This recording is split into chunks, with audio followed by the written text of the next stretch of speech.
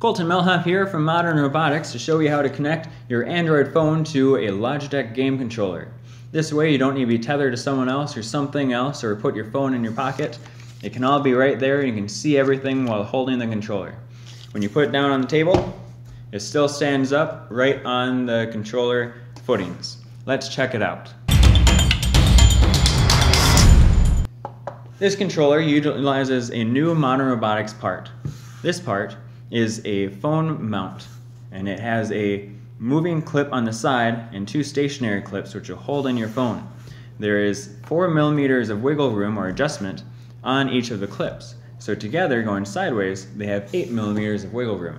If you need more than that, you just go to the next hole. This means it can fit any size tablet or phone with or without a case. We've tested very slim devices and very thick devices with these mounts.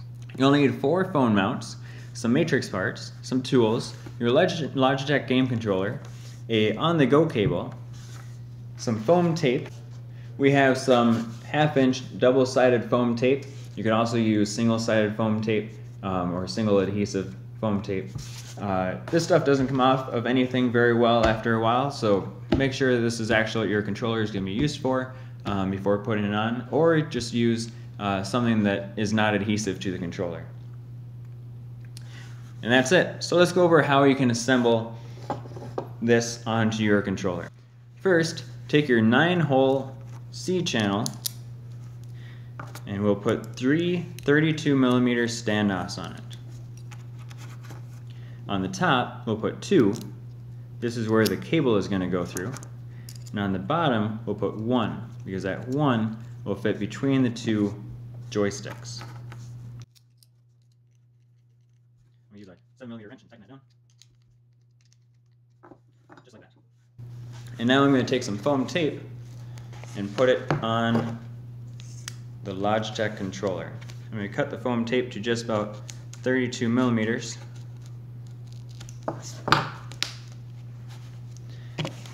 And on the back of the controller, there's a switch that is on X or D. For the new control system, you need the switch to be on X, not D. So a lot of teams already have tape over their controllers. Make sure you remove that tape, make sure it's on X. And then I'm taking my foam tape and I'm going to put it right over that switch. I'll put my other piece of foam tape on the bottom. Now removing a piece of paper that protects the adhesive. And then I'll take these parts we assembled so far and put them square down onto that foam tape right in the middle. And push in a little bit so it sticks. So now we have a nice platform to build from. Next, we'll take a 3x3 flange plate and two screws. I'm going to screw it onto the front or the top of the controller.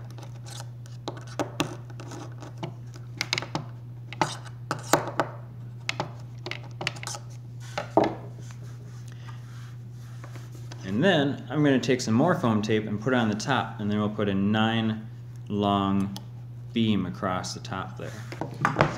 That middle thing that says Logitech is actually a button, so I'd recommend not putting it over that. And also, don't put the foam tape over the mode LED light, because you'll need to know if the mode has been toggled or not. I'm ending up putting mine half over that mode.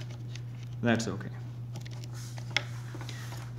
Now, we're going to put on another C, uh, another flange plate, but at the same time, we're going to put the nine long beam across and that's going to go inside of the C just like it's going to go inside on the other side as well.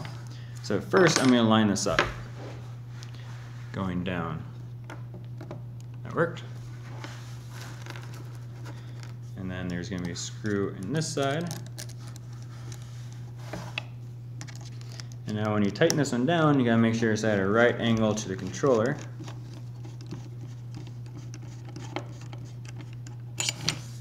And then the other one, there'll be another screw that goes through, and that's going to use a nut or a kep nut bottom side of that screw. Tighten that one down good and tight. go back to that one. Good. We're getting there. So now we're gonna do four 16 millimeter standoffs off the top. That gives our thumbs enough room to get to the joysticks.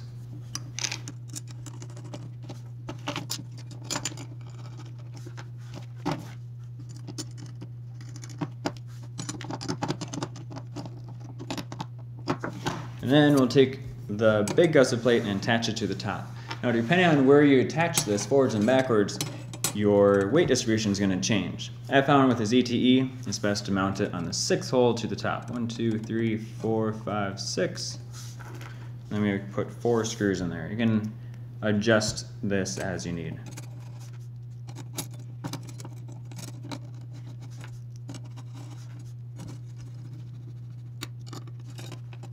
Notice that I first just put the screws in lightly or loose and then I tighten them down. Make sure I didn't tighten it in the wrong spot.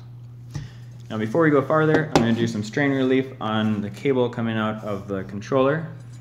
So I'm going to put a zip tie in this back flange plate and leave some slack here, otherwise you're just making more strain for the cable. Just like this. And I'm going to use a zip tie gun to make that tight.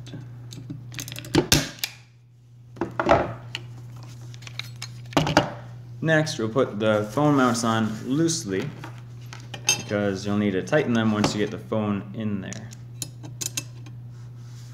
I'm going to put them in one hole from the side and start with the very top, as far up as I can go.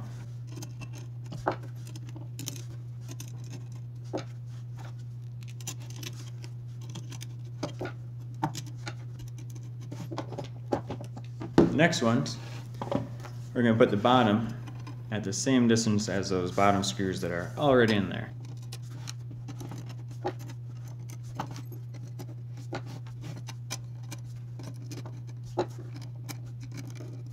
Now figure out what width these phone mount should be at. You can put the phone in and then squeeze it tight and that's about where it should be. So I can kind of see how far out the sides are going to be and then that's where I'm going to tighten them down.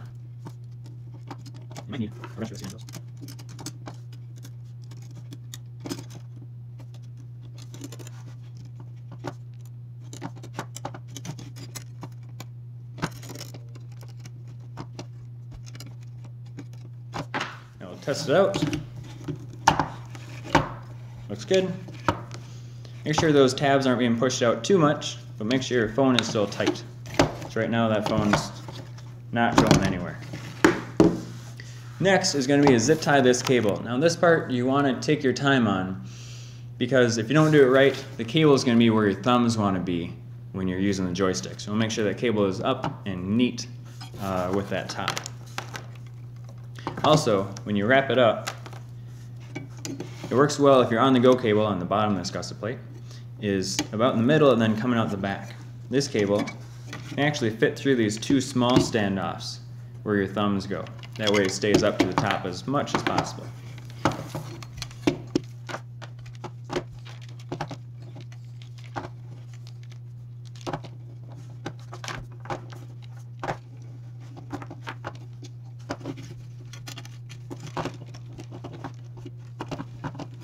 there it is. So I got my cable coiled up and my cables coming out the right distance, right spot I want to. I'm going to put uh, three zip ties on. Put one here with all the cables, one here with all the other cables, and then one in the middle that'll hold that on the go part where it needs to be. There we go. It's all held in. And now the ZTE phone can snap on the top, cable can go on this side, and you're good to go. Now you can control the whole robot and see the screen of your phone and not be uh, tethered to something else. These phone mounts will be available at modernroboticsinc.com shortly for sale. Also, if you'd like all the parts to connect your controller to your phone, we're going to give away two of these, one on Facebook and one on Twitter. Go and retweet this status on Twitter or go share it on Facebook and you'll get a chance to win this whole thing. We look forward to seeing you out on the playing field. If you'd like to know right away when next videos are released, be sure to subscribe to our YouTube channel. If you're not on YouTube right now, go to YouTube and click on the subscribe button. You can also click on it below if you're on YouTube right now. The little red button that says subscribe. Can turn into a gray subscribe button. I'll wait, I'm right here. Nothing else exciting happening up here. Scroll down a little bit, hit subscribe. We'll let you know when new videos are released, when we're talking about the controllers, or new sensors, or how to connect it all together. We look forward to seeing you here on the next video.